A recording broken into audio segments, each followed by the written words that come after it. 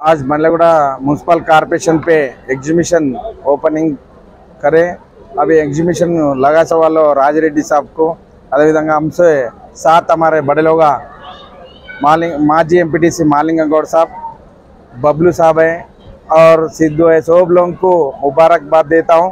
हमारा बल्लेगुड़ा प्रजा पब्लिक सब लोग आके आप यहाँ पर अभी देखे तो मच्छियों को एक एक मच्छिया साढ़े बारह लाख रुपए का, अब नौ लाख का बोल रहे हैं, अभी देखे तो भी बहुत हमारा अफसोस हो रहे हैं। हम लोग अब तक नहीं देखे हैं। अपने पब्लिक क्या बोल रहे हैं, आप बच्चों को भी बताए तो अब नॉलेज जा सकता है। आज भी अभी देखे तो एक आदमी भी डाल दिए तो उसमें मच्छर के एक पाँच मिनट में आप एक चूरा भी नहीं, सर का खाते बोल के बोल रहे अफसत बात है, पर इतना बड़ा हमारा बड़े लोग हैं, ज़मीन दे के एग्जीबिशन वालों को सपोर्ट कर दिए तो हम बड़ा लोगों को शुक्र अदा करता हूँ। अभी पब्लिक आप भी मीडिया को भी शुक्र अदा करता हूँ। पब्लिक थोड़ा आप लोग मीडिया में बता दिए तो हमारा बल्लेगुड़ा कारपोरेशन पूरा पब्लिक आके देख लेके आ, क्या होता बोल के बच्चों को बताते बोल के शुक्र अदा कर रहा हूँ। पहली बार हमारा पंडलगोड़ा जागीर सन सिटी में ये under water tunnel expo exhibition आज से ही चालू हुआ है। आज हमारा उद्घाटन के लिए आया हुआ मेहमान लोगों को हमारा धन्यवाद।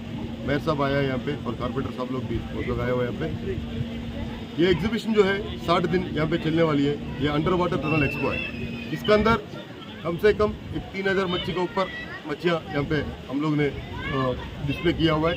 इसमें 750 वेराइटीज ऑफ़ फिशेस भी हम लोग इधर लगा के रखा हुआ है। इसमें अरापैमा है। अरापैमा गोल्ड है यहाँ पे। क्योंकि इसकी कॉस्ट है कम से कम साढ़े बारह लाख रुपया इसका कीमत होता है। ये किधर भी नहीं है इंडिया में। एक ही पीस हमारे पास है। इसके साथ अलीगेटर गार यानी बहुत किस्म का मच्छियाँ। नाम हर एक का तो बोलना, साढ़े सात सौ मच्छी का बोलना तो बहुत देर लग जाएगा आपको। हमारे पास इधर जो टनल लगा हुआ है, ये कुकड़पल्ली से भी बड़ा टनल है। क्योंकि कुकड़पल्ली में मैंने लगाया था, वो कल एग्जीबिशन वहाँ पे बंद हो गया। वो होते ही इधर का लोगों का रिक्वेस्ट की वजह से हम लोग बंडलगुड़ा एरिया में लगाना पड़ा, क्योंकि यहाँ से भी बहुत व्यूवर्स हमारे को आया था।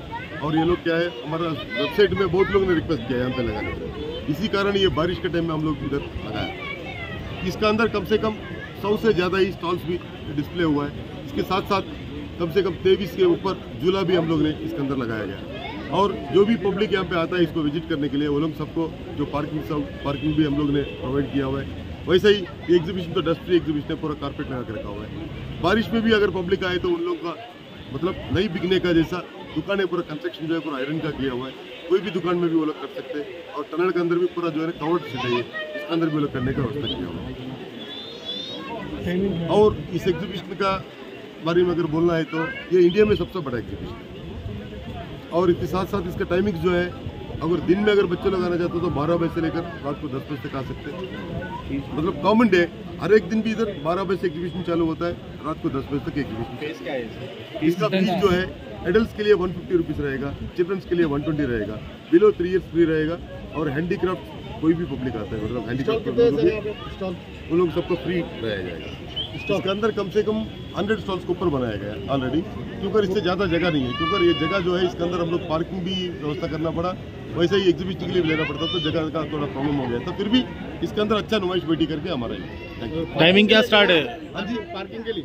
पार्किंग के लिए जगह छोड़ा हुआ है। कम से कम पाँच एकड़ जगह छोड़ा हुआ है पार्किंग के लिए नहीं टिकट रहेगा। नॉमिनल टिकट रहेगा। अभी डिसाइड नहीं कि कल डिसाइड తో పాటు పెద్దలు మాజీ ఎంపీటీస్ మాలింగగౌడ్ కరక గారికి అదేవిధంగా రాజు కాక గారికి మరి బబ్లు గారికి అదేవిధంగా సిద్ధు గారికి బబ్లు గారికి మరి దీనికి ఎగ్జిబిషన్ రాజారెడ్డి గారికి కూడా బండ్లగూడెం తరపు నుంచి కూడా చాలా ధన్యవాదాలు. మరి చూస్తుంటే వస్తుంటేనే మరి ఇప్పటివరకు మనం చూడలేం. మరి ఒక్కొక్క చేప పన్నెండున్నర లక్షలు అంటే చాలా గౌరవ కారణంగా ఉంది. ఎందుకంటే మనం ఇప్పటివరకు ఎన్నో చేపలు చూసినాం ఎన్నో సముద్రాలు చూసినాం కానీ సొంత చేపలు చూడలేదు. మరి ఇప్పుడే రాజిరెడ్డి గారు అన్నారు ఒక్క చేప మనిషిని ఐదు నిమిషాలలో ఏం లేకుండా తినేసే చేప తీసుకొచ్చిందంటే కూడా మరి ఇంత గ్రాండ్గా చేసినట్టే మనం అందరం అభినందించాల్సింది.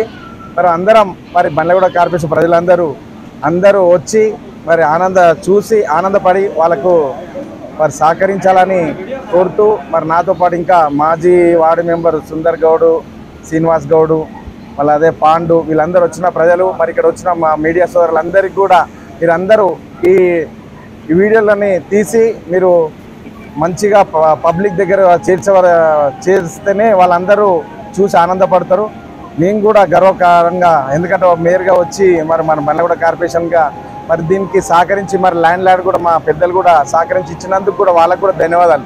అందరూ ఏ గిదాన్ని ఎందుకు రాబోయే? మేము ఇయ్యంలే అని అంటారు కానీ మరి పెద్ద మనసుతో మా పెద్దలు కూడా ఒప్పుకొని మరి వీళ్ళకి ల్యాండ్ కూడా ఇచ్చి మరి వీళ్ళు కూడా ఏర్పాటు చేసినందుకు మా పెద్దలను కూడా అభినందిస్తూ మరి మీరందరికి పేరు పేరున మా బల్లగూడ కార్పొరేషన్ ప్రజలందరూ అందరూ సహకరించి వాళ్ళకు మనము మన దగ్గరకు వచ్చినప్పుడు మన వాళ్ళకు కూడా సహకరిస్తేనే మరి ఇంకెన్నో చేసి మనకు ఆనందపరుస్తారు. కాబట్టి దయచేసి ప్రజలందరూ వచ్చి చూసి ఆనందపడాలని కోరుతున్నాను.